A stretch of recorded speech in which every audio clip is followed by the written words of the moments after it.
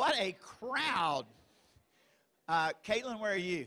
What a lack of coincidence uh, around this turnout tonight uh, for our Montag lecture. Um, so, welcome everybody. Uh, we are thrilled you're here, and uh, from so many different places um, where we're all committed to the same goal around the chance for every child in Georgia uh, to have, have the chance to, to be his best self um, for a lifetime. And so I want to start with the thanks that the person who has taken on that stewardship for our state's children is our lecturer tonight.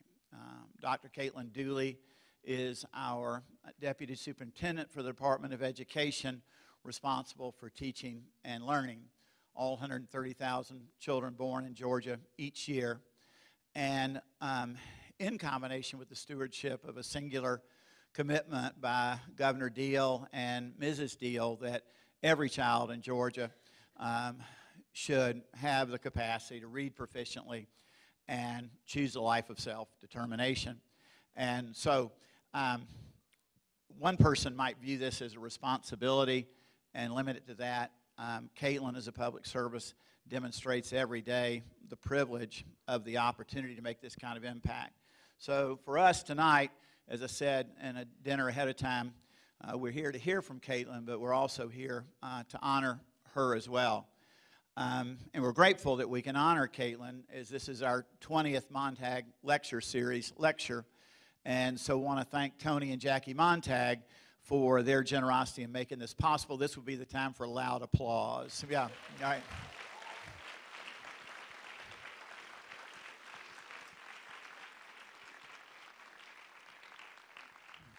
And those whoops were also appreciated uh, as well. So I thought um, to give context for the evening, um, Caitlin cannot accept a gift over $25 in value.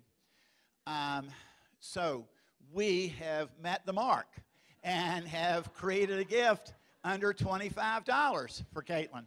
So, Caitlin, I just want you to come. If you don't mind coming up and opening this first, and then we're going to have about 10 minutes of introduction. But if Caitlin can open this, and then we can explain um, context for the gift. Oh, gosh. But don't look at her. Can y'all talk while she's opening it? I mean, don't put her on the spot. This feels a lot like Christmas at our house, where in our house we have to brag on how much we love every gift. Yes. y'all have that at your house where, you know, it, like my sister and brother in law one time bought this horrific, they went to Germany for Christmas and came back with this sweater with this large deer across the front of it and thought that somehow that was okay. And it was horrific enough. And then they insisted I try it on. Well, it was two sizes too small. so this deer not only was horrible looking, but the deer's nose and backside sort of met each other over here on the other side of my um, sweater. But anyway, I wish I'd kept it.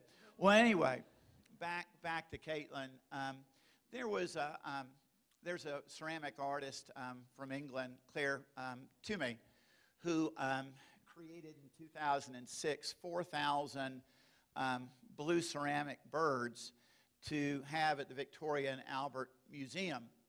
And unlike typical exhibits, rather than for people just to stare and admire these birds and works of art, they were each people were encouraged to take them with them, to spread this message and spread this art and spread this beauty. And so this year, um, our first graders in our Wardlaw School studied Clare Twomey and then created their own bluebirds, not to have and share here, but to take home and share with others uh, in our work with our children. So, this is uh, one of those bluebirds done by our art teacher uh, to present to Caitlin. And for us, um, what this represents is a, a, thank you to Caitlin um, and a recognition and a purpose to honor her commitment that our goal is that one day very, very soon that all of our children should have the chance to fly. And Caitlin is making that happen, and we're grateful to you. And so some would say that this, in order to meet her government obligation, that this gift costs nothing. Um, we would see it very differently and say it's priceless.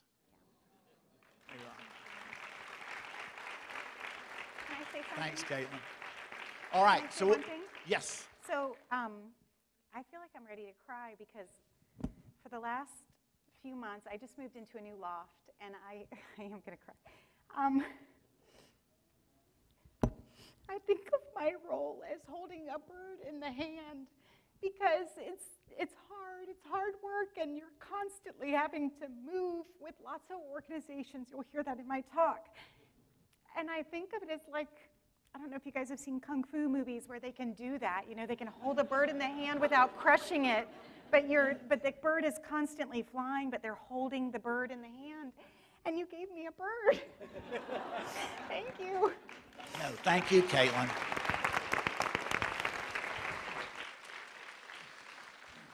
So, so I wanted to show you, and, and we always at this stage take about 10 minutes to talk about the work of the speech school. And our work now, again, in support of, of Caitlin, and we also have Ken Zeff here, who directs the Metro Chamber of Commerce's Learn for Life project. And we partner with Caitlin um, and other agencies around what do we do to end our city's illiteracy and state's illiteracy crisis. So our commitment is that for the 2018-19 school year, uh, I think you know our Every Opportunity video has now had almost 100 million views, and we are offering the opportunity to, well, we're asking people to partner with us to create as many Every Opportunity schools in Georgia as possible. Uh, and you'll see what that commitment involves. And we have five original leadership schools who have signed up to be Every Opportunity schools Drew Charter School, uh, Westside Atlanta Charter School, Centennial Elementary School, Scott Elementary School, and Usher, Usher Collier Elementary School. And we are thrilled to have the leadership.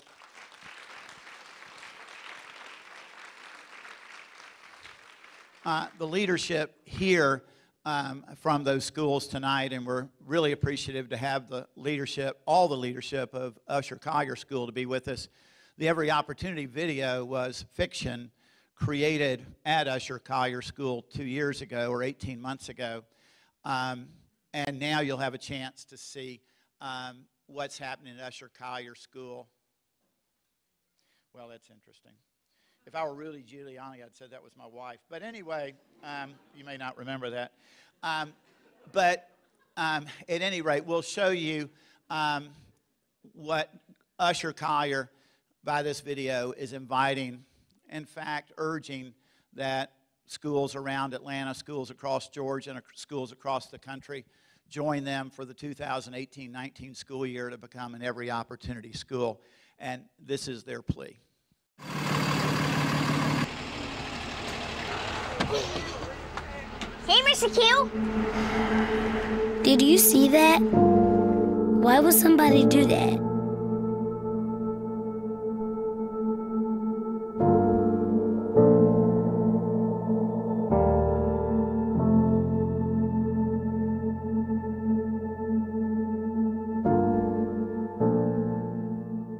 I looked at some statistics, and we're in the 30318 uh, uh, zip code.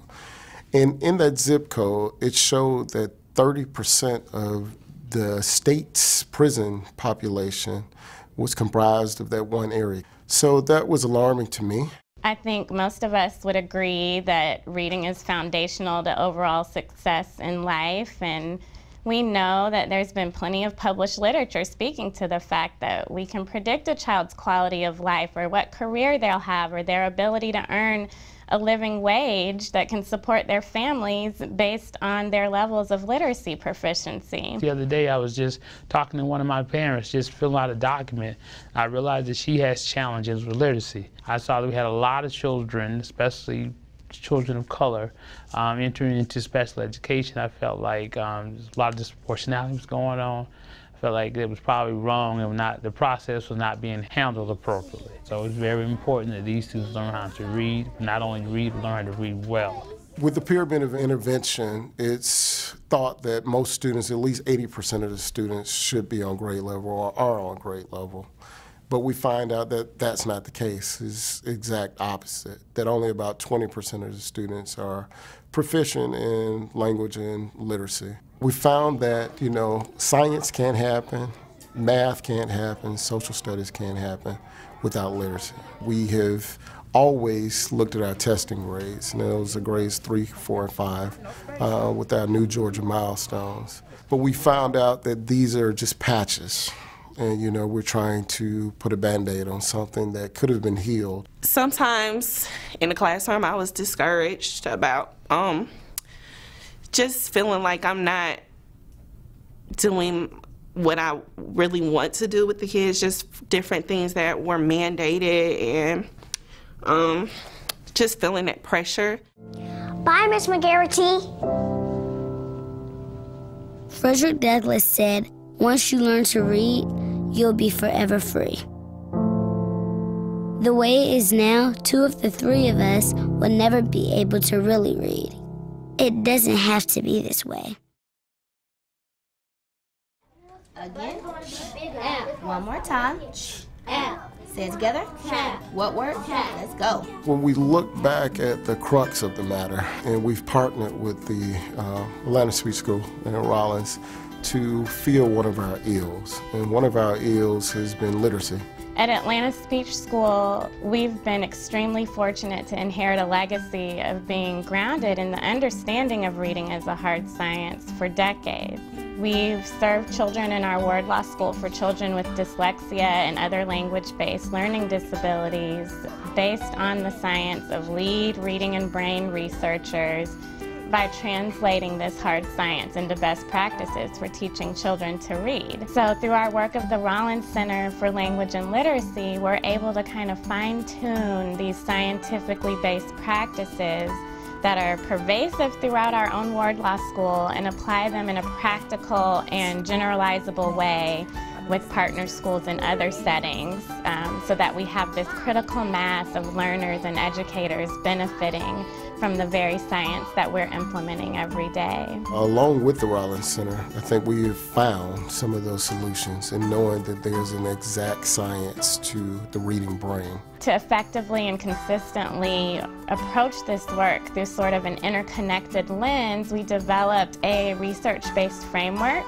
that's inspired by the science of Dr. Maryanne Wolf and what she describes as the deep reading brain. The act of becoming a deep reader becomes highly unlikely, if not impossible, without having the know-how to put in place the appropriate interventions and remediation through targeted, explicit, and systematic instruction. We share a common vision for what it is that we want for Usher Collier. Good morning. In other schools, if kids are constant discipline problems, then they may be suspended. But here, we set up parameters so those students can stay here because ultimately, if they're not here in the building, they can't learn. You never know how that child's evening was. So I try to keep my teachers there at the forefront of that. And we try to feel those needs and know sometimes that acting out is an indirect response to the things that are happening at home. And so we try to give a prescription to those things rather than a uh, consequence to an action. The Chinese symbol for active listening is images that encompass the need for open ears, open eyes, undivided attention, an open mind, and an open heart. Nowhere in it do we find evidence of a closed mouth. Listening isn't about the act of being quiet or silencing children's voices. It's about tuning in to those around us. And when that happens, the result is that being quiet naturally happens. Silence is not the key. Um, and they have a lot to say. So it's incumbent upon us as educators to give them that voice, but give them that voice with a rich vocabulary and a way of actually articulating your innermost feelings and your thoughts. And we've now created a voice for those students, and it has quelled um, and greatly reduced our discipline referrals. A lot of our students, we can't control how they come to us, but we can control what takes place in the time that's given to us, changing their trajectory. The way I feel every day, every day, happy, sometimes mad, and safe because I got Mr. Parker.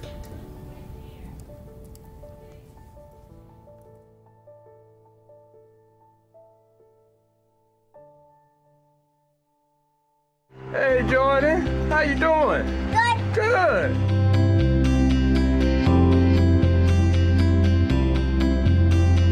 When you come in on a Monday morning after a late weekend and everybody's smiling and they're like, good morning, good morning, good morning, happy Monday, I think that's important. And you do it to the kids too as they're dragging in. Start small in your classroom and you branch out from there. And you just, you provide people with your ideas, you talk to people and try to get buy-in as much as you can. Take a look at tiny bits, chunks of things that you can do yourself in your classroom um, or outside of the classroom, no matter what you are. But you have to know that, you know, you need a team of people with you to believe in the vision that you have. I do think that in any school, the main thing should always be the children, but making the children feel welcome and like they're a family and like they're not a burden. When I feel that the teacher is knowing that like you're doing good at the end, it just make me feel good. It make me feel like I'm really getting money, but in another way. And just do what you do authentically. So, yeah. Make the school worldwide.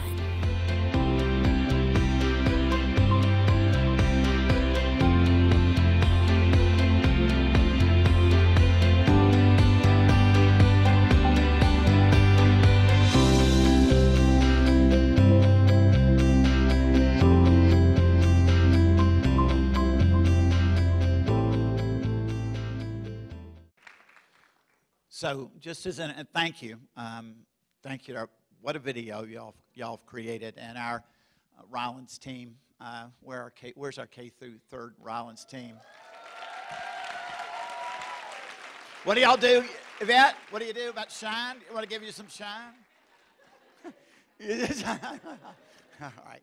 So um, again, we hope schools across Atlanta will will sign up and join with Usher Collier and Drew and all the other schools um, to keep this promise and to build each child's reading brain. So with that, uh, our no pressure. My dad used to have a joke. The punchline was, "You got a heck of a big job to do. Don't mess it up." So with that, with the person with the biggest job in the room, let's please welcome Dr. Caitlin Dooley.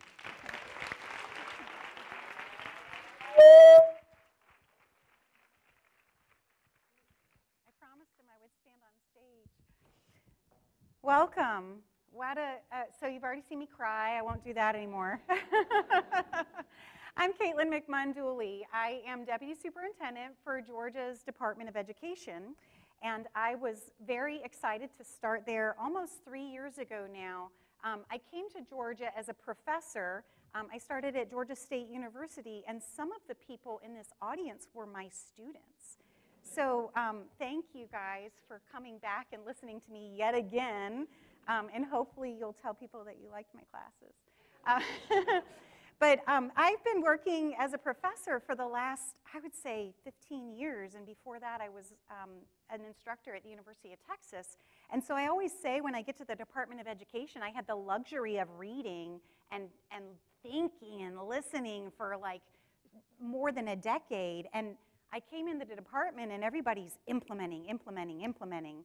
And so we actually complement each other really, really well because um, I think we're, we're um, learning from research now in a faster rate than ever before. Research used to take 20 years to be put into implementation, and we really have to move fast now. So um, without further ado, I'll tell you a little bit about what I'm going to talk about today which is um, learning literacy for life.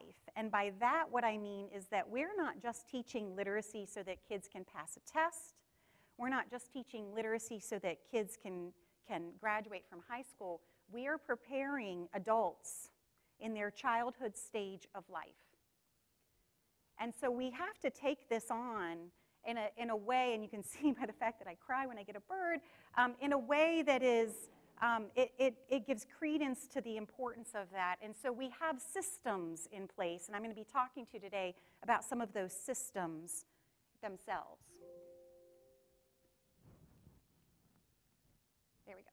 Okay, so I'm going to skip this video and come back to it because I'm mindful of our time. Um, uh, at the Department of Education, I'm one of five deputy superintendents. I'm basically the chief academic officer. Um, so I oversee all of our teaching and learning. That includes our teacher support and development. For those of you who are teachers in the audience, yes, that means your TAPs and TKES and LKES. Um, curriculum and instruction, which is all the standards, and Georgia Virtual Learning, which we are really trying to innovate with um, within the Georgia Virtual School, as well as really look at what personalized learning means.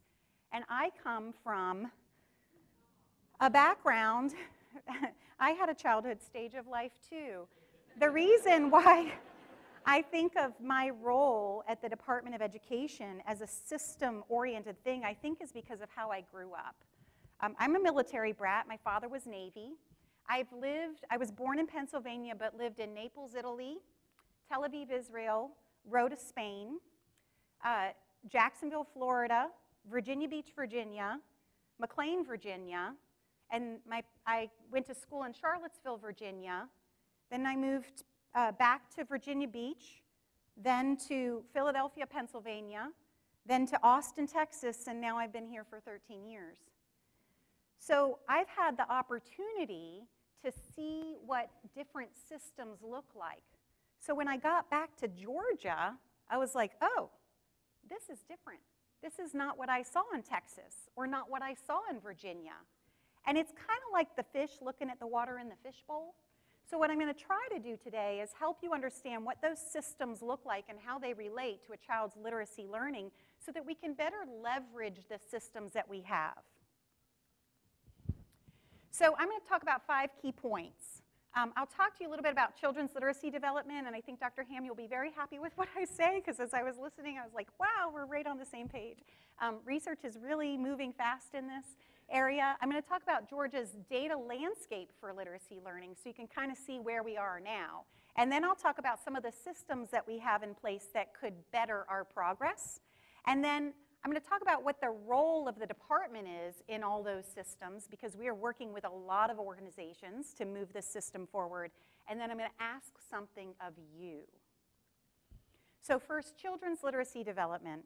Um, at the bottom of all of these, I want to also mention, um, while we know that literacy is um, good for kids, it's also really good for kids because the economic stimulus that comes from having a child who can become literate will pay off in dividends when that child then has, gives birth in their adult stage of life to a new child who doesn't grow up in poverty.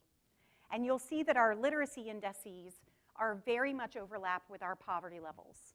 And so the more we can tie this full circle together at the community level, the more likely we'll see that we have kids that are growing up in prosperity.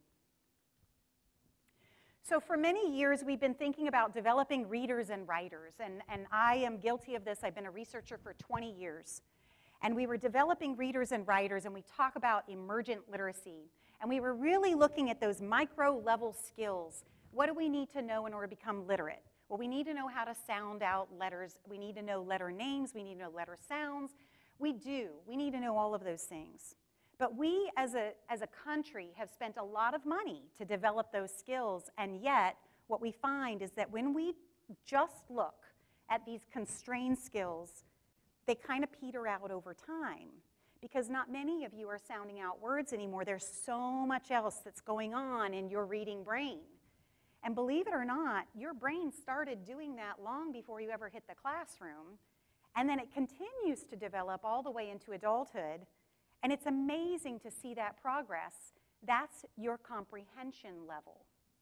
So comprehension doesn't grow because of decoding. Comprehension grows because of language ability.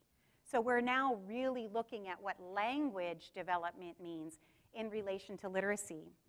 So this is another really interesting finding.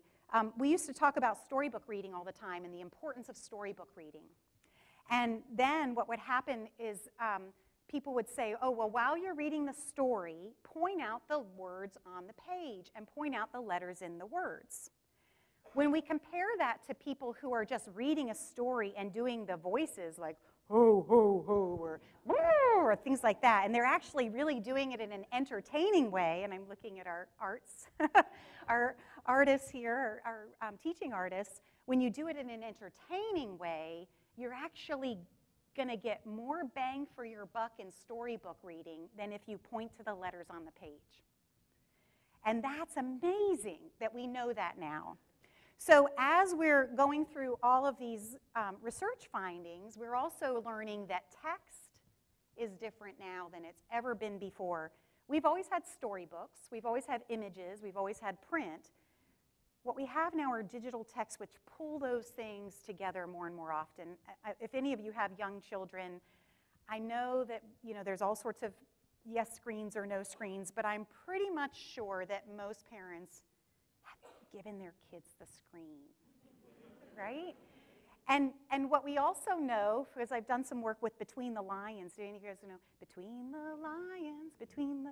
Okay, so what we also know is when you merge media, so when you merge what um, the, the print and the animation and the, and the image, that you actually can grow reading. Um, for those of you who are researchers in the room, this is the modified simple view of reading.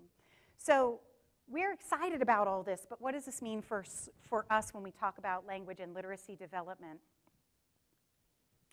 We have to figure out what is literacy. Because it's not just sounding out words on a page. We all know that now. And so we can look at the Organization for Economic Cooperation and Development. This is OECD. This is the organization that does the PISA tests, if any of you look at those. Like when you see, oh, the US was here and Norway was here, this is the test that figures that out, okay? So OECD, uh, uh OECD actually revised their, their definition of literacy in 2016 you guys probably didn't read that in the news, but I was like, holy cow, they revised their, like, that's, a, that's an amazing, crazy thing. OECD doesn't do that. Like, they don't, it takes them 50 years to come up with consensus on these things. What they did is they, I'm going to read out loud because um, first they changed from reading to literacy. So suddenly we're looking at production with writing in literacy. Um, literacy is understanding, evaluating, using, and engaging. They added the word engaging, and I want to come back to that, with written text to participate in society. They added that. That was never there before. Participation in society. To achieve one's goals and to develop one's knowledge and potential. Okay, so we would understand, yes, I've already said a child in the adult stage of life, we want them to achieve the goal. That's the Frederick. We still want all that. But this whole participate in society, what does that mean?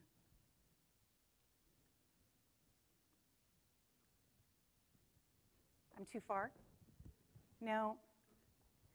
I know how to do this. Um, there we go. This means that we have a new way of engaging with literacy in today's society. That not just in the US, but in Norway, in Cuba, in Italy, in New Zealand, there are new ways of participating as a literate adult. And this is why we, it's so urgent right now that we think about literacy as participating in society.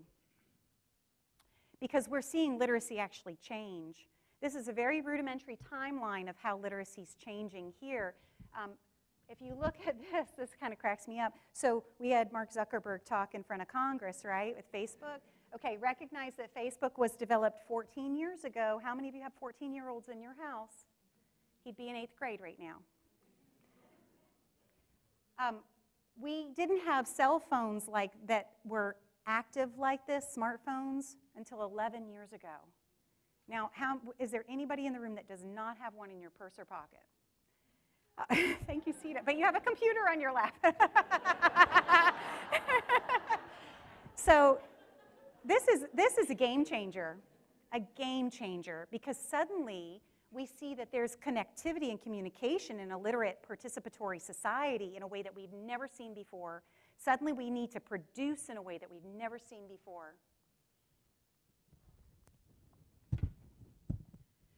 And what's also interesting to me is that our professional organizations are keeping track of this and they're moving at the same direction.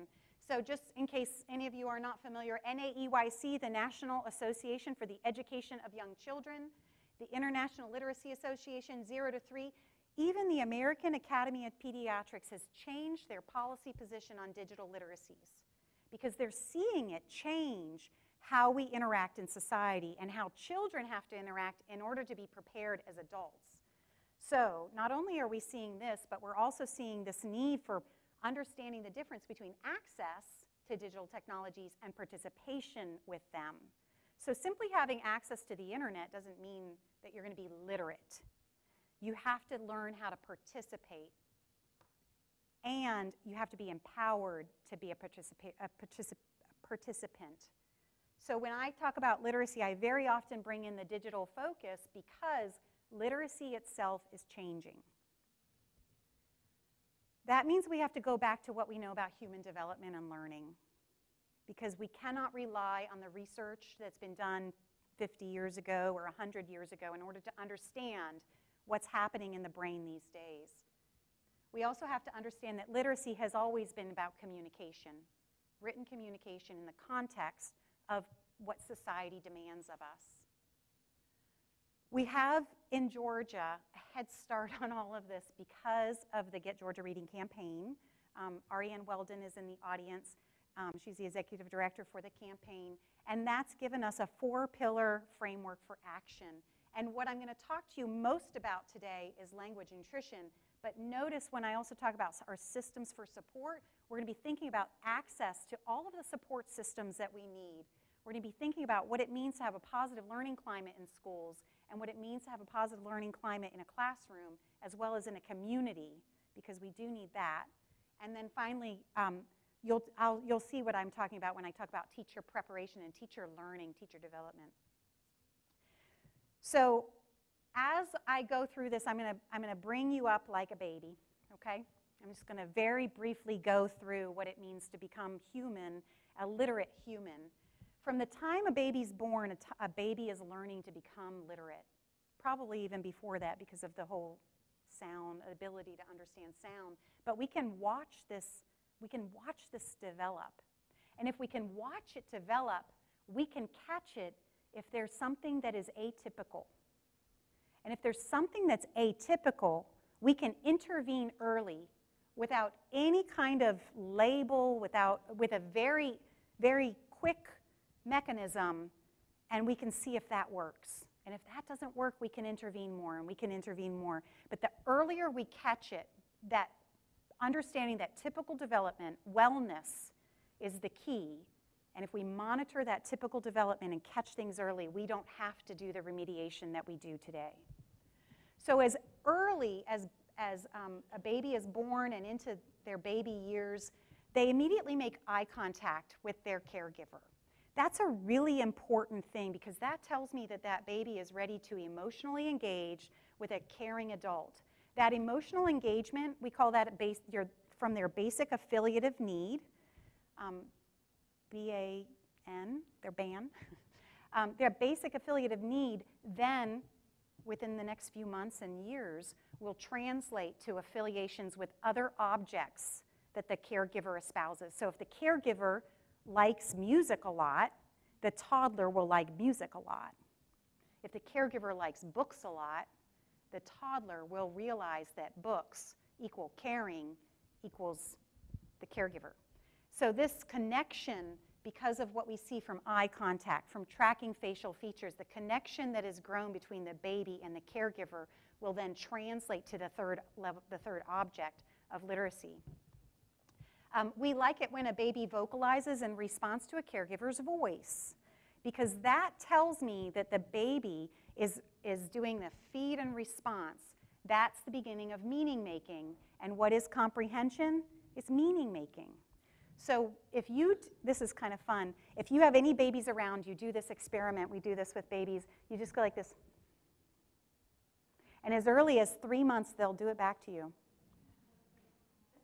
do it back. And, and they can't even smile yet sometimes, but they'll.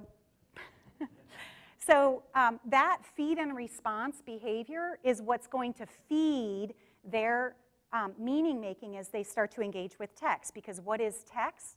But it's the feed and response of language, of printed text. So we want to see this develop early. If it's not developing early, we can catch it early, we can get it in place, and then there's no need to remediate. As they grow into toddlerhood, we love to see a, a, child start to respond to cues with social gaze. So when you have a room full of toddlers and you have adults walk into the room, the toddlers will actually turn and look at the adults. Or if you have, uh, and they'll watch. And a social gaze is a very relaxed gaze that they'll just engage with the adults. They'll immediately look at the eye. They're not looking at the legs or the shoulders. They're actually looking at the face, looking at the eyes, and they're engaging with that adult. Um, they'll start to pair nonverbal and verbal communication cues, so you'll see them do the gestures. Um, that's the beginning of language interactions. You'll see them waving their hands, shaking their heads. That's all exciting things because the gestures that we do are early symbols. And what is print but an abstract symbol? So we want to see them start to engage with that symbolic knowledge development. They start to use ritualized words. They're echoing what you say and they're figuring out when to say it. So uh-oh or bye-bye. They'll start to use it but confuse it say it at the wrong time. And then you'll go, oh, no, you know, only when they go bye-bye. And they start to use it more regularly at the right time. That is the beginning, again, of the social cueing system that we want them to develop. In preschool, they start to understand and use combinations of words, subjects and verbs. You can actually start to teach subjects and verbs as early as preschool. Um, that's an exciting thing because they're starting to understand language structure. They're starting to understand what it means to have a subject and a verb come together to show action. They're also starting to identify pictorial labels. So that's why many of our preschool and toddler books have the pictures with the, with the um, word underneath because they can point to the picture and say the word, and they'll be able to read a book that way. Um, those simple emotions that they can express, we can start to lay the language over that because ultimately, remember, literacy is social. Literacy is communication. By pre-kindergarten, kindergarten, and first grade, if you were a teacher in the room, you know these are the magical years for typical development. I can't tell you how many teachers I know who would say, I would not teach any other grade but kindergarten or first grade because that's when kids learn how to read. And what's so funny is that they've been learning how to read before that. We just didn't call it reading. Uh, we, we, we can call it conventional reading, but we can't, we can't say they haven't been learning how to read before that because all of those early skills that they learned were essential to their literacy development. Um, as they get into these early grades, they do start to be able to segment sounds. That's an abstract skill that they can start to do. Um, they can start to express a range of emotions. And again, literacy is communication. Communication is interpersonal. If we don't understand how to express emotions and what emotions do, it's very difficult to communicate. So the, the ability to express your emotions and to pull that together in that social interaction will eventually transfer over to their literate interactions. Um, they're able to engage in short dialogues with peers. This is an excellent example of how their metacognition is developing because they're able to um, focus for a while and able to um, interact on a particular topic for a while before they lose interest. This is, this is one of those, like you watch a kid go through this and they, they're not parallel playing anymore. They're actually interacting with another person, one of their peers. It's actually super exciting. Um, but one of the most important things is that they're relating sound, print, image, and other symbols to meaning. And that convergence across modes between print, symbols, image, all of those things coming together to create meaning will, will reinforce each other. So it's more than the sum of its parts. They're symbiotically related. So the more modalities we can offer the child and then pull in the print literacy, the more likely it is that the child will become conventionally literate. By the primary grades, um, you'll see that children are able to stay engaged in a topic for an extended period of time. They start to balance comments and questions a little bit more. They can initiate and maintain conversations that are sensitive to social cues with their peers. They can incorporate role playing, visualizing events and other representations in talks, text, and play. And then I want to pull it all together with this last one because they're relating meaning across multiple modalities text, image, sound, animation, video. They're really able to pull those together. They're able to produce them as well as understand them. This is a developmental milestone because, especially in an age where we're asking kids to become digitally literate, because most of the things that we write in the workplace are not three paragraph essays. We do a lot of videos. We do a lot of real short animations. But we don't write, most jobs do not write long reports. My job does, but most jobs don't. Um, and the shorter the better, you know, these days. We've actually seen the, the length of text actually dissipate over time. So when you think about this in the context of write, written literacies, it actually makes a lot of sense. I want to bring to light what it means to write persuasively. This is one of the tasks that we ask all kids to learn to do. In order to write persuasively, you have to use language to communicate. You have to anticipate what the other is going to need in order for them to believe you. And you have to also um, understand what the other is going to ask if they're questioning your argument. And then you have to lay out the justification for that. That's a really hard thing to do if you have not gone through typical social development, if you don't know how to read someone's social cues, if you haven't learned how to um, engage in an emotional um, activity where you start to lay the language on your emotions. So just in that act of persuasive writing, we're relying a lot on their social and emotional cueing as it's grown over time. And by middle and high school, if any of you have ever lived with a middle and high schooler, you know they truly understand sarcasm. they understand irony. They understand other non literal meanings. We often talk about this as figurative language in literacy, and our English language arts standards include standards all the way through um, about figurative language. It's very difficult to understand figurative language, sarcasm, if you don't understand what someone else might be thinking and then you're not actually meaning that, and it's funny because they realize that you don't mean that, that's a back and forth understanding of social understandings. You have to have a concept of another person's mind in a very big way, and then you also have to understand that that's funny. It might not be. Um, but that's, that's how our teenagers have developed over time. In order to understand their literate text, they're going to have to have developed all of those emotional and social cues. They have to be able to solve problem, eh, problems and be goal-oriented. This is very much a metacognitive ability. So they have to have the ability, executive function ability, to stay focused. And when they start to veer off, they can go, nope, I'm going to come back here.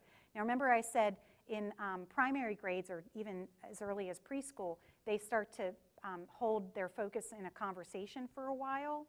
Well, if that hasn't happened, if they aren't able to hold a conversation for a while, by the time they're in middle and high grades, it gets really hard to refocus oneself. So as we go through this process and develop their metacognitive understanding, their executive functioning, that actually helps them continue that as they get to, to high school. Um, this this is the group that is just amazing with digital literacies and digital technologies because they're integrating and synthesizing meaning um, across color, text, image, sound, and print. And so that ability to synthesize across media is going to be exceptionally important for them when they get into college. Now, my oldest is 20, he's at UGA, and I've asked him, How many essays have you been asked to write? And he said, None. And I said, How many videos have you been asked to make? I don't know, maybe 15, 20. So in schools, sometimes we have high school teachers who think I have to teach them how to write the five paragraph essay because that's what they're going to be asked to do in college. But that's actually not the case. More and more colleges are understanding that in order to be digitally literate for the society that we, were, we are preparing them to participate in, writing a five paragraph essay is not the end goal. We're preparing them to be literate for life.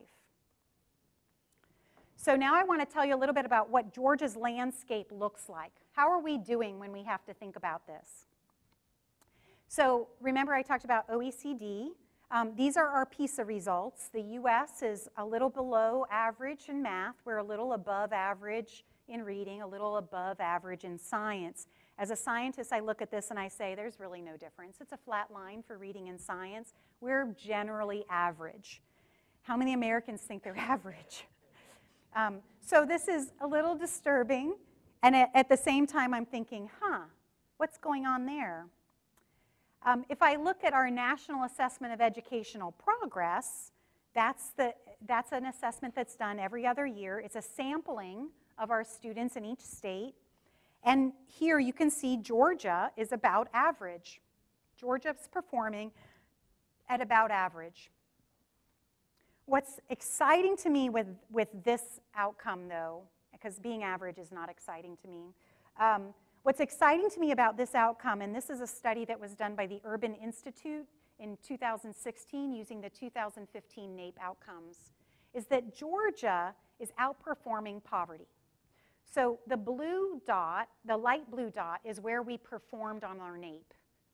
And the dark blue dot is where we performed if you take into account poverty.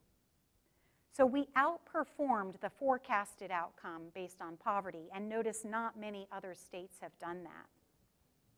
Hallelujah. Good job, Georgia. What are we doing right? These are our fourth grade outcomes on the NAEP for, um, for the last 12 years. It does include the latest ones that were announced on Monday, and we did have a bit of a drop on Monday. It's not statistically significant, and there was a bit of a drop nationally. But overall, you can see that the general trend is up and to the right. Hallelujah. Good job, Georgia, right? That means that we've moved from the bottom of the pack across all the states 12, 12 years ago to the middle of the pack. So none of us are okay with being average. If we were to continue on this growth trajectory, and the nation was to continue on their growth trajectory, just hypothetically, it would take us till 2031 to beat the national average. That means that we would have kids come into school this year and graduate and we're still average. We have to get better, and we have to get better faster. This is the biggest obstacle that we have in Georgia it's poverty. Our outcomes related to literacy are almost 70% correlated to poverty. So at the bottom of the graph on the x axis, that is um, the, the level of uh, poverty, and the y-axis is how they did on miles, milestones. And so you can see that they did better when there's less poverty, and they did worse when there's more poverty. So 70% correlation means that if you told me the poverty level, I can tell you without knowing what school they go to, without knowing what programs they implemented, without knowing what teacher they had, with 70% accuracy, what their literacy outcomes are in the milestones test. what's going on. We've got to get better faster.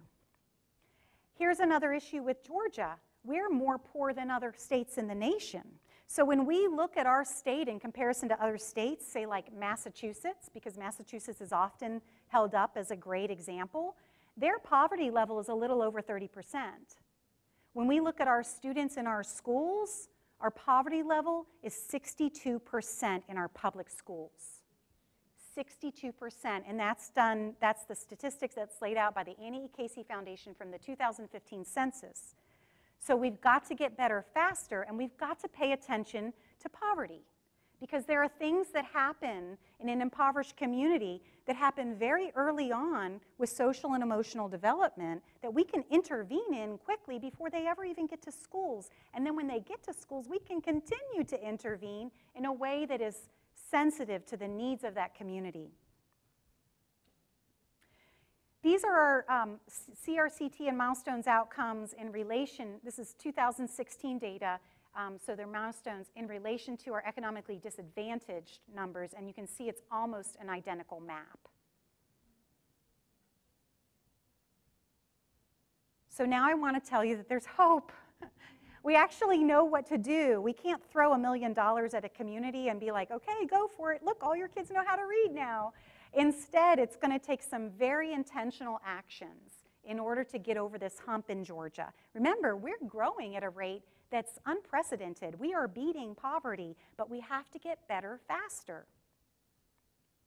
So we are so lucky to have the Get Georgia Reading campaign because it pulls together all of the systems in place we also have several other folks here in the audience. The Literacy Commission is really working to um, create more coherence at the community level. We have the Sandra Dugan Deal, Dunagan Deal Center um, here, they're trying to help us with the teacher professional development and trying to really focus on school level improvements with, within coordinated activities in the, in the um, community.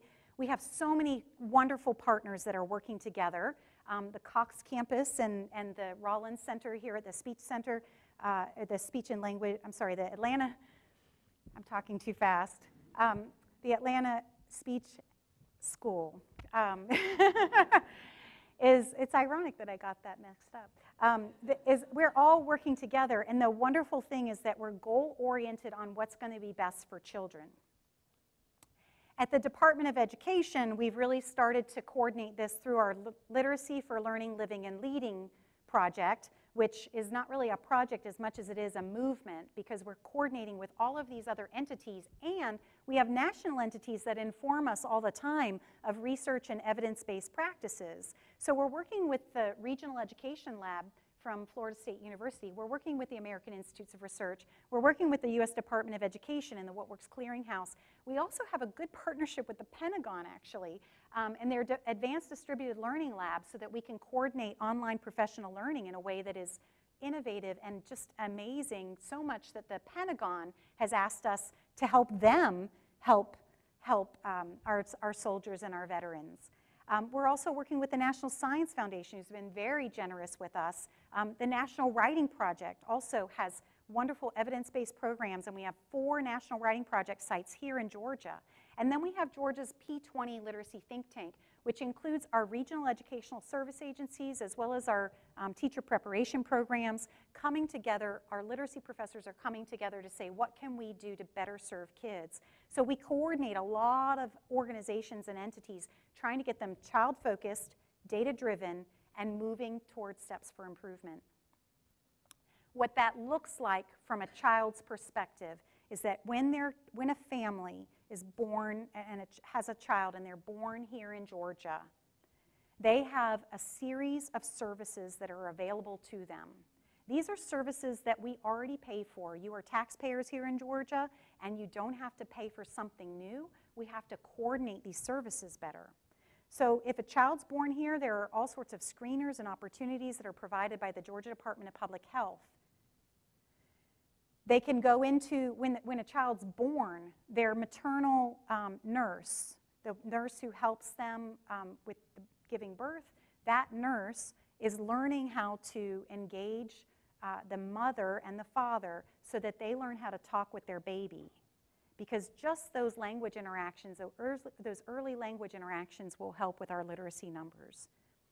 They can find a quality rated child care center that's been that's been documented by the Department of Early Care and Learning as a high quality child care center. And we ha- we've, we've gone through rigorous processes to get those in place. And if they don't have one in their community, they can reach out through their, um, through their liaisons in their community and we can try to start one there. Um, we have the Georgia Head Start Association and, and the um, special preschool special education program at the Georgia Department of Education. So when we when we learn that a child has a need for any of these interventions, we can immediately serve these children. And we've got to get more children into this process so that we can serve them earlier on. We also have two organizations that provide speech and language services. Now, speech and language pathologists, if you're in the room, thank you. Um, what we're finding is that many of those social and emotional cueing systems and communication systems that we can intervene on early will benefit their literacy, and many of the interventions are actually literacy interventions. So narrative book reading and narrative storytelling is one of the interventions that you might use in a speech language therapy session, and that not only builds their oral communicative ability, but it also builds their print literacy. And then when they get to the Georgia Department of Education, we intake kids with a series of screeners and assessments. One of the main screeners that we have is Form 3300.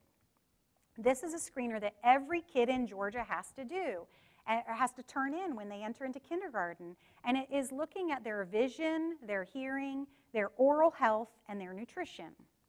And what we find sometimes is that that form is turned in, but it's, it's not looked at after that.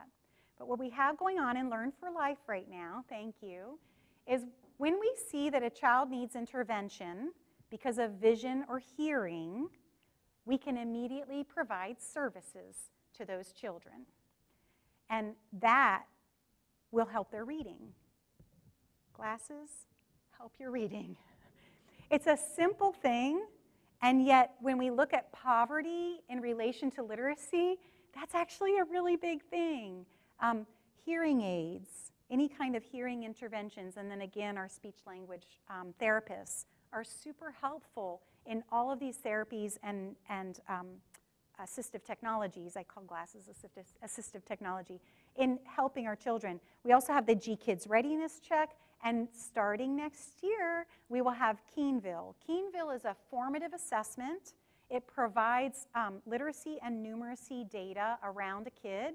It's a game, it's a video game. Who doesn't like a video game? The kids have an avatar, they customize their avatar. The avatar moves through a world and does these tasks in order to show, uh, to, to get their avatar to power up, right? As they're doing the tasks, the feedback that they get is helping their learning, so it's assessment for learning. At the same time, it's conducting a report on that, child, that child each time and feeding that to the parent and the teacher. So it's assessment of learning.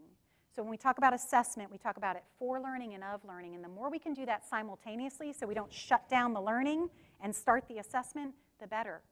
So this is, a, again, a very innovative statewide assessment that will be made available starting next year. As they go into the, the school system, um, we have Literacy for Learning, Living, and Leading, which is a coordinated effort around professional development. We have a wonderful relationship with the Cox campus, which provides online learning, online coaching, as well as the um, Sandra Dunagan Deal Center for Early Language and Literacy. We also have our P20 partners. Every district in Georgia has a partnership with the colleges of education near them. Not only that, but the colleges of education are evaluated based on the performance of their local schools. That's called the TPPEM, the Teacher Preparation Program Evaluation Measure. So if I'm at Georgia State University and my school districts aren't doing very well, I'm going to have to go in and say, how can I help? That's a good thing because we need everybody focused on the right thing, which is doing the right thing for kids. These bottom things, we talk about this as the tiered supports. Um, these bottom things should be in place in every school. School climate ratings, uh, we have a five-star school climate rating system. Every school has to be rated by their parents, by the staff, and by the students. And they get a rating for that. And it's also based on attendance, it's based on their suspension rates. And from that rating, we can say, okay, how are you doing?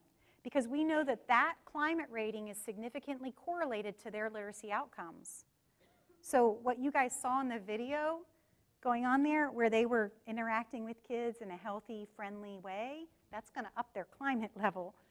And that will also feed their literacy, um, their literacy levels because literacy is social. If we find that from these, from these um, tier one interventions, these general, everybody gets it intervention, we find that that's not working. We should be moving up the, tier, the targeted intervention scale to intervene with speech language services, with our school nurses. Our school nurses are great advocates. And then we have what's called the early intervention program. Early intervention provides additional funds for schools. That it is unlimited, um, so we can, we can put as many kids into early intervention as needed. Um, and it's for grades kindergarten through fifth grade.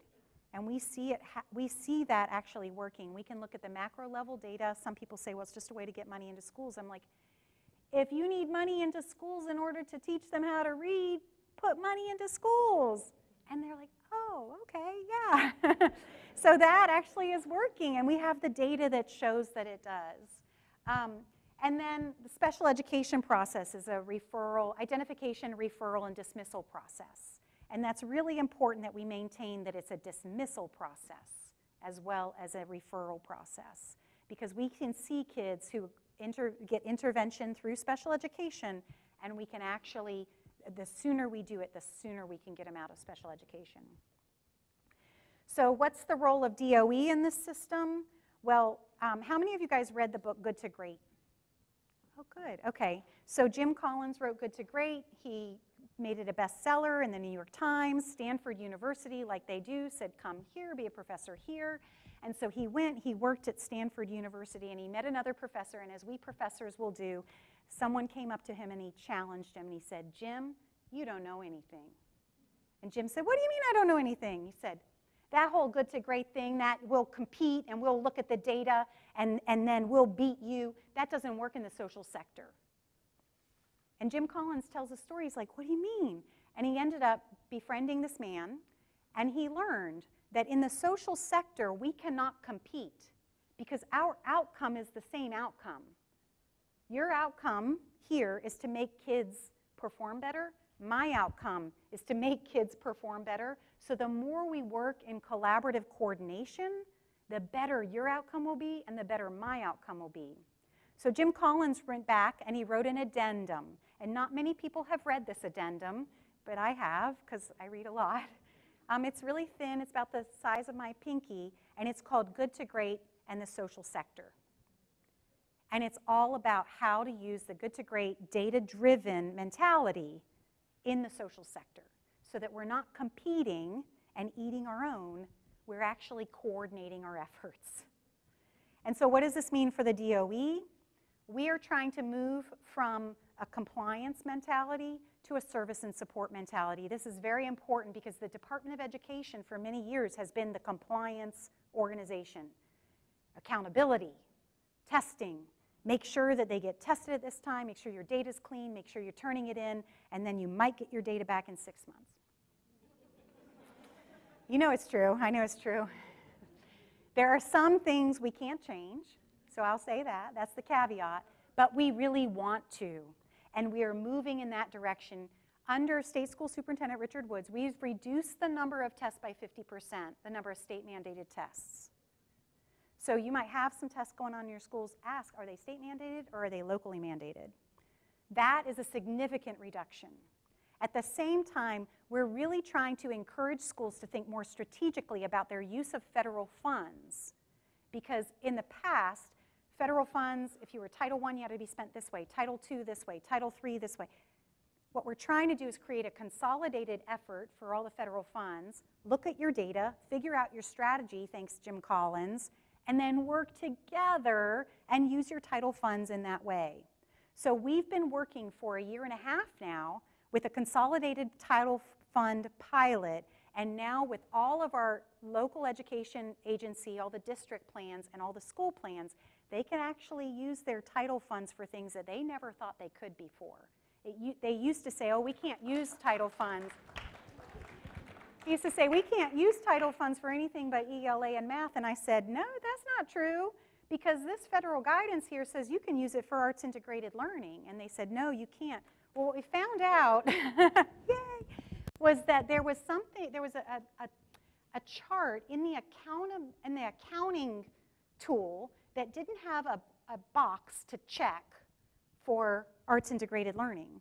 And I was like, why is anybody using it for arts integrated learning? We know that works. We've got the data. There, it's not a box there. So we have a box there. We're actually redoing that whole account accounting tool.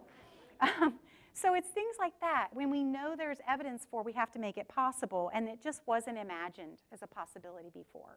So in the Department of Education now, we're, we're listening and we're trying to create services and supports so that when we lay out expectations, like we're going to get better faster, and we have accountability, yes, we still have some tests in place, and yes, we still have to turn in data, we have the services in place that get you from here to there. And we're focusing on the whole child.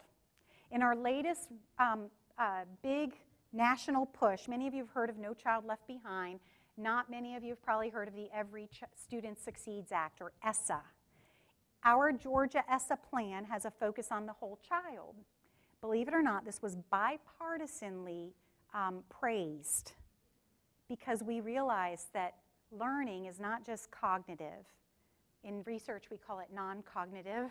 In real life, you might call it soft skills.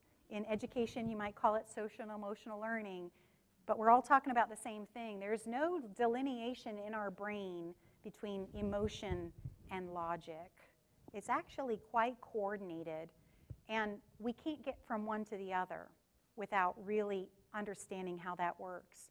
So we're focusing holistically on the whole child, and that allows for schools to pull down their funds and to engage in strategies that more readily address learner-centered needs. And we're building networks.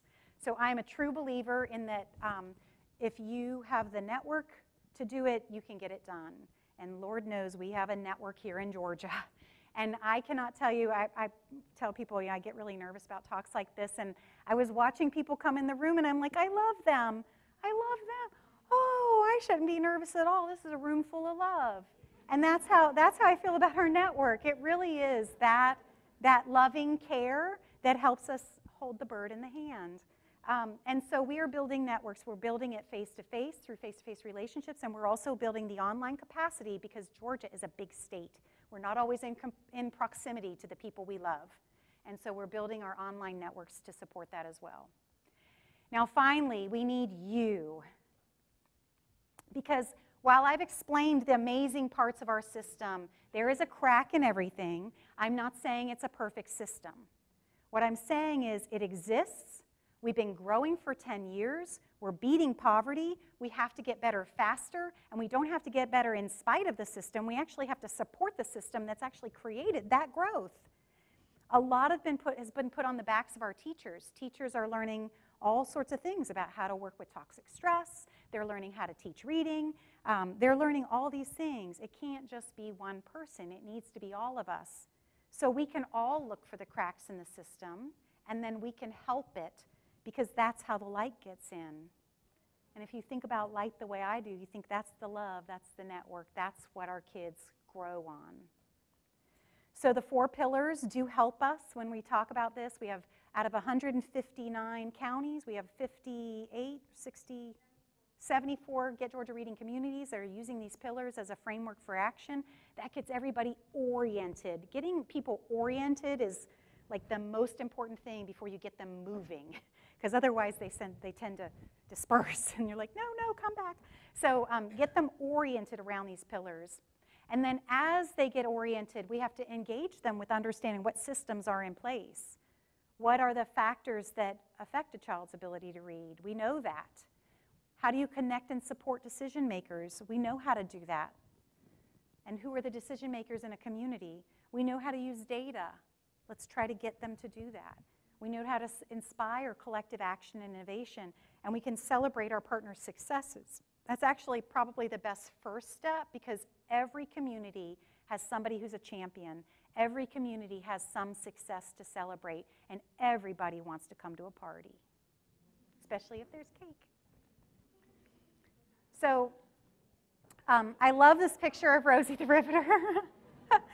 because it shows that everybody has a part in this, even our children. In fact, our children, as you can see from some of the marches that children have engaged in most recently, our children are growing up in an, in an environment where we can empower them to have voice. I talked about how literacy is changing and how production and empowerment are more of a, a need now more than ever. We have a digital environment, we have a digital society, everybody has a voice, and sometimes the voices that are being listened to aren't necessarily the ones that your children need. and so as we develop this, engage the children in all of this because they have a voice in it and they want to engage. And at every level of development, they have something to offer. So um, I, do ha- I do have a survey for you, and if you want to fill out the survey, please do. And I can also send this out through the Atlanta Speech School um, because one of the things that I did when I first came into the Department of Education was I said, we're going to look at our own data and we're going to engage in continuous improvement.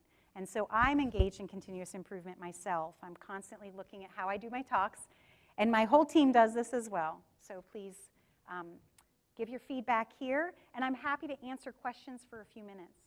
That's okay.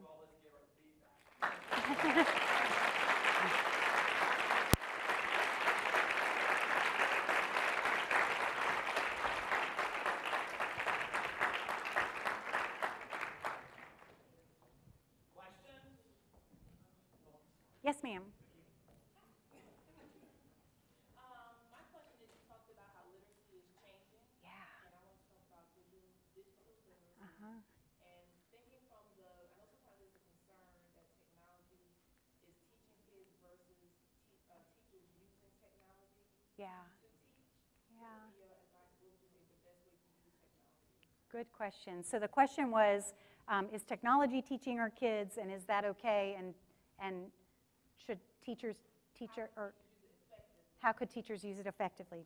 Great question. So um, what we find when we put technology in front of a child and we remove the teacher from that is that um, kids who would have persisted in a teacher-focused class continue to persist. And this is after grade six because the research is not strong before grade six, and I'll talk about what that looks like. Um, but the kids who would persist will continue to persist. And so we actually see excellent outcomes from online courses. Um, when you have a full school as a digital school and the, and the teacher for every class is removed from that, kids don't persist. So there's some level of engagement with online education that a child will engage with and do better, but when you remove the caring adult altogether, they won't persist. Because teaching is ultimately a relational thing. And so if a child was, um, if a child's put in, in front of a, a computer and they have a, they have a affinity for an adult outside of that, they'll probably be okay. But for our kids who wouldn't have persisted with the teacher, they're less likely to persist with the computer in front of them. Um, and that is our, that's our most vulnerable population anyway. So it kind of helps, it, it makes the rich richer, but it doesn't necessarily help our most vulnerable populations. Um, what I always recommend is that you use technology as a tool, just like you use textbooks as a tool. We would never put a textbook in front of a child and say, here you go, that's calculus, right? so technology is a very effective tool. It's probably more effective than a textbook. But teaching is a relational thing. You're, they're, telling, they're telling you through their interactions, I don't get it, I do get it. Any teacher in this room knows what I don't get it looks like. It looks like, or it looks like I'm going to go to the bathroom, or it looks like acting out, right? So the teacher is able to pick that up. Computers don't pick up those social cues at all. So for many children, having, um, having the relationship is super important. At the same time, I want to say um, for a teacher, if they get a good, a, a good technological tool available to them, they can often use it as a curricular resource in a way that allows them to not have to write curriculum. So for example, we have some very strong curricular content. Um, you know, I'm, I sit over Georgia Virtual School, so we have some courses. Georgia Virtual School is not a school. We don't have a graduating class. It's a supplementary course provider for kids in schools. What we find is that the kids who um, enter into our Georgia Virtual classes often outperform the kids who are sitting in our regular classrooms, and we think it's because the content that's provided in there is very strong. Now, I will say, though, the caveat there is that those are the kids who persisted. So we, when, we find, when we look at that population, we can see that there's some sample bias. And what I always recommend to a school system, because it's often used in rural areas because they don't have an AP physics teacher, or they don't have, you know, a, we, uh, I'm trying to think of one, oh, human geography is a very common, um, popular course. And, you know, they, ha they have other needs for the teachers that they have in their local community in our rurals, um, but they don't, if, if this is a course that we can do online, let's do this course online, and then let's have the teacher teach these other courses. We have a big attrition issue in, in Georgia. We have a retention and attrition issue, especially in our rural districts. Um, and so having those virtual um, courses available are helpful. But what we don't see is high quality performance in our virtual schools. So when we offer all of the courses in a virtual environment, we have a huge attrition rate, we have lack of persistence, and we have lack of performance. Yes? Next fall, it'll be in pilot. Um, so you have my card. And so um, email me and I'll make sure you're part of the pilot because they want more pilot places. Um, we're bas it's basically by volunteer. Yes? what do you believe that um, school leaders can do to cultivate language rich environments such as the ones that have been featured this evening or in our early opportunity video? Yeah. Like, what are some best practices that you've seen or suggestions for solutions? Great question. So, um, so the first thing I always recommend to leaders is that they look at their data because they may actually have a language-rich environment and not realize it. So they might need to just praise the teachers for having it. If they look at their data and they're finding that it's not there, and I could say the first piece of data I would look at when I think about that is our climate data. And they can look and see, how's our climate data doing? Because in a language-rich environment, you're going to find that the social interactions are healthy. And that when you have the items like I feel safe in this school, or I, you know, I, I can't think of some of the other ones. Um, I feel safe in the school is the most, um, is the item in the climate survey in elementary that's most predictive of our literacy outcomes. Isn't that crazy? And it's, and I think it really does have to do with the, you saw it in the, in the video with the child saying, I feel safe, I like Mr., I can't remember his name, Mr. Parker, yeah. That is,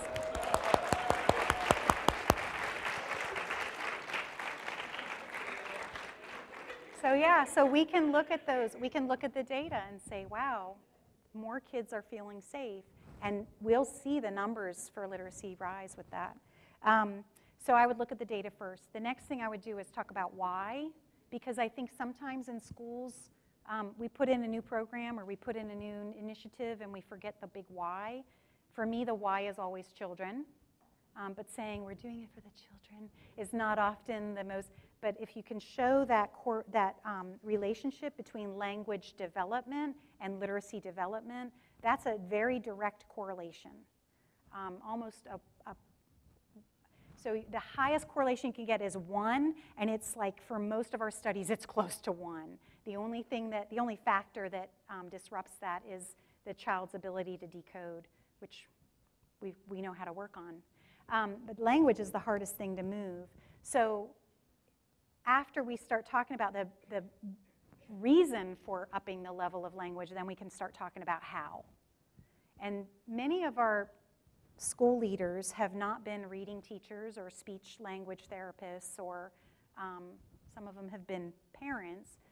So I always recommend to school leaders at every level, elementary, middle, and high, that they engage their master teachers because the teachers are the ones with the extensive pedagogical knowledge.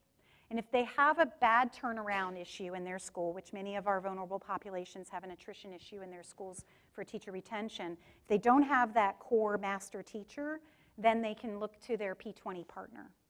And there's a, there's a college of education there that wants to help because their outcomes are based on your kids. And so they can look for that expert in that way. But you want someone, not every leader has the expertise to tell people how to engage in rich language, those tier two words. I look at you because you're like, yeah, tier two words and you know, expansions and extensions and you know, tell me more kinds of questions. Not everybody knows how to do that. Um, and the master teachers then can help the other teachers. So really distributed leadership is going to be key.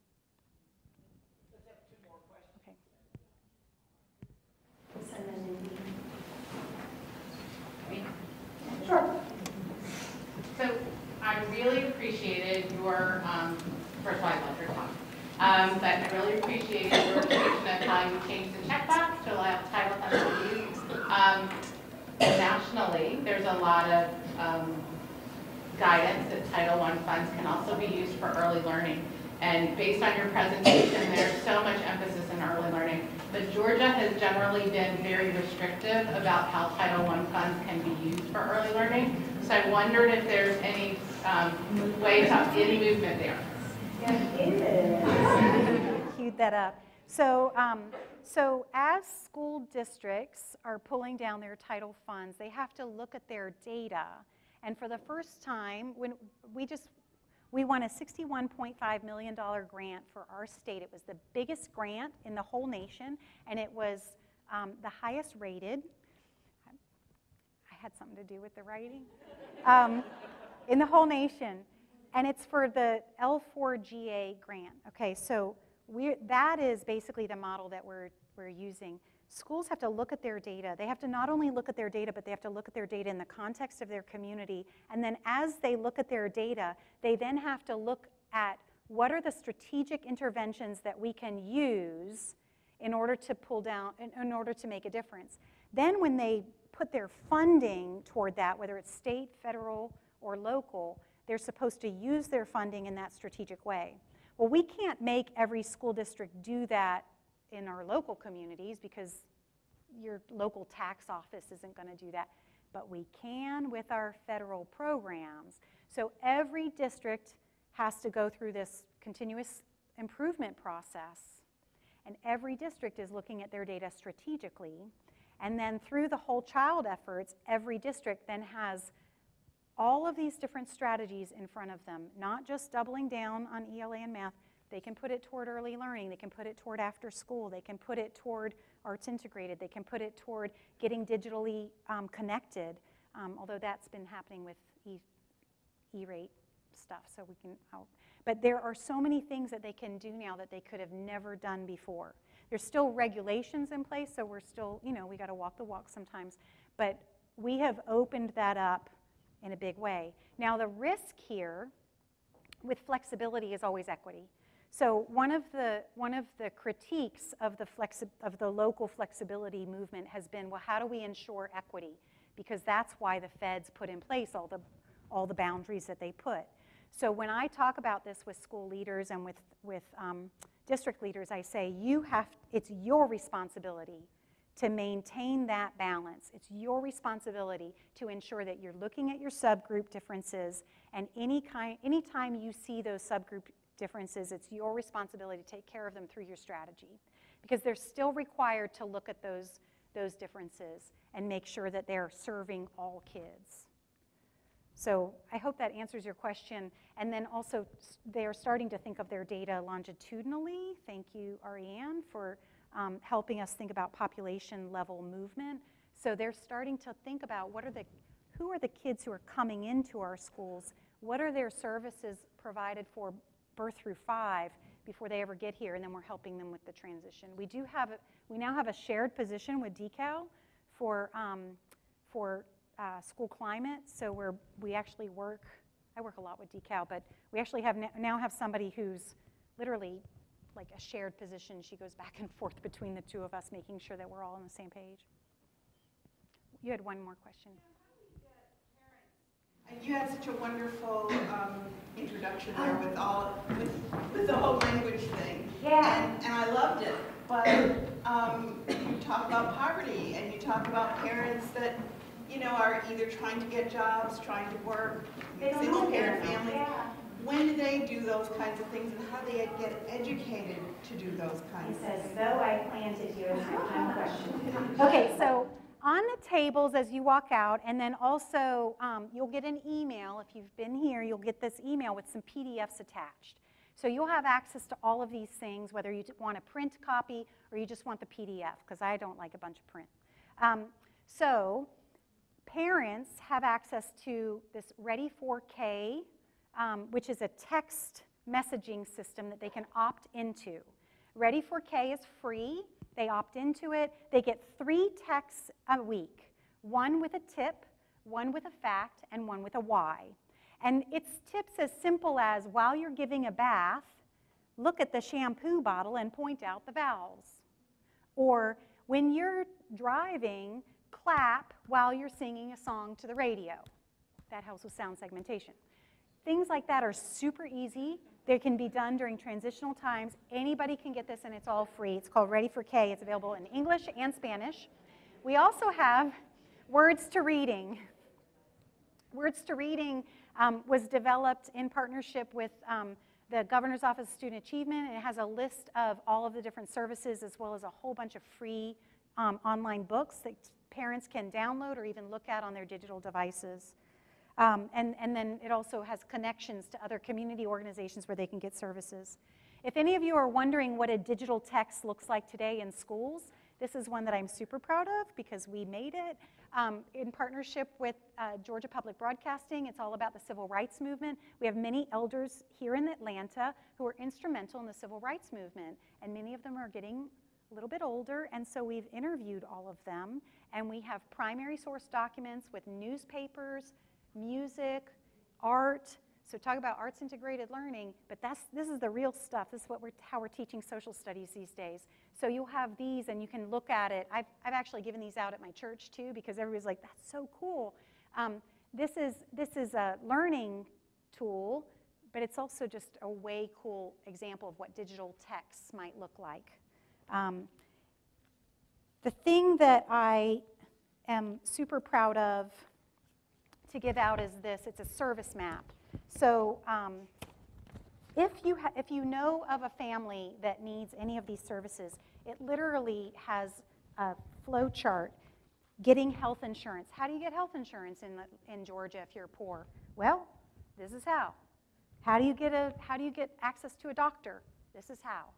So it's literally just a simple, easy to read service map about how to access our levels of care that are available to everybody. You'll have that. And then um, for those of you who are working in schools or in um, early child care settings, you have this. This is the red flags, um, assessments and interventions that you can put in place for social and emotional learning. Um, many of the speech language therapists will recognize many of these therapies that are available, but this is also available to any of you. And then finally, or not finally, um, for those of you who are working in school districts and you need to use evidence-based practices, you know what I'm talking about when I say that? So you need to use research-based practices. This is a, um, this is a, a relatively brief, I do tend to write too long, but it's about 23 pages of um, evidence-based practices in relation to literacy, including community coalition building, um, and including some of the community level activities that you can do.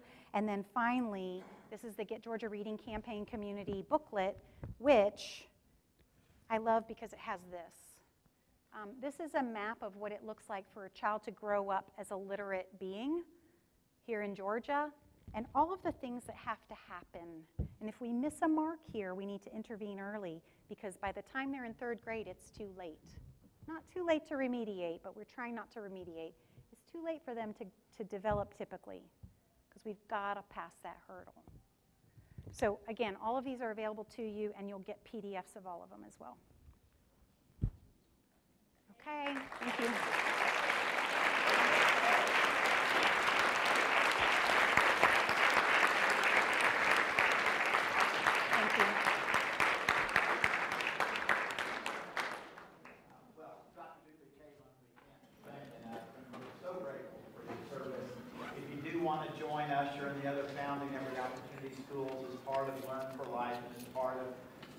Dr. Dooley's work, you can also sign up outside as well.